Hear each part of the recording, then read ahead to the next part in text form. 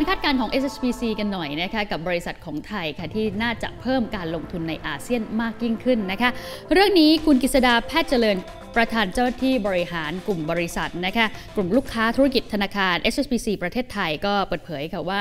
ปัจจุบันเนี่ยเศรษฐกิจดิจิทัลของเอเชียตะวันออกเฉียงใต้ก็เป็นหนึ่งในเศรษฐกิจที่กำลังโตเร็วที่สุดในโลก มีมูลค่าประมาณ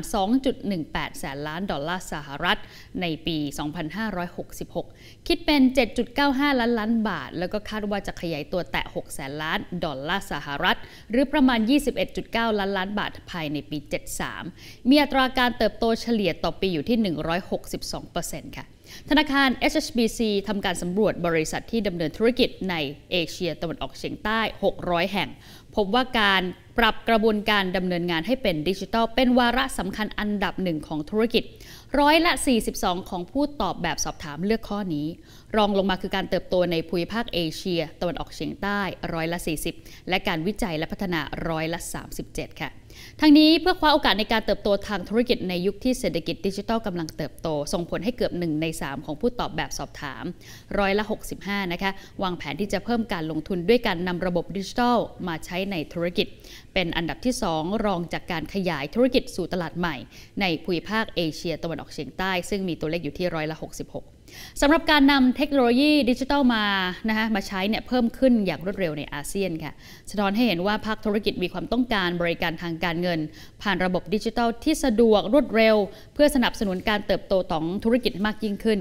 สิ่งที่สามารถตอบโจทย์ภาคธุรกิจก็คือโซลูชันด้านบริการการค้า การชำระเงินที่สะดวกใช้งานง่าย เพื่อให้พวกเขาเนี่ยมีเวลาในการวางแผนกลยุทธ์ และการขยายธุรกิจที่มากขึ้น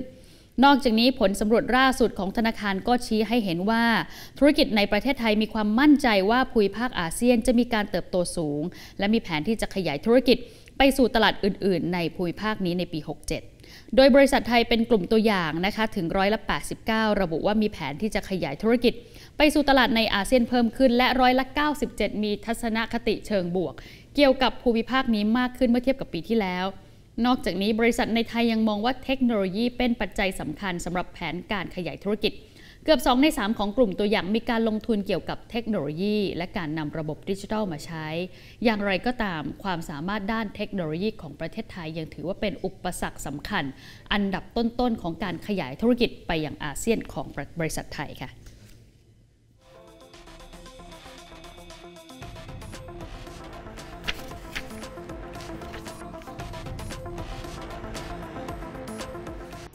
ขอบคุณสำหรับการติดตามรับชมรายการย่อโลกเศรษฐกิจนะคะ อย่าลืมกด subscribe กดกระดิ่ง กดไลค์ กดแชร์ในทุกช่องทางออนไลน์ของ TNN ช่อง 16 นะคะ แค่นี้คุณผู้ชมก็จะไม่พลาดค่ะ รายการสดและก็คลิปดีๆอีกมากมายค่ะ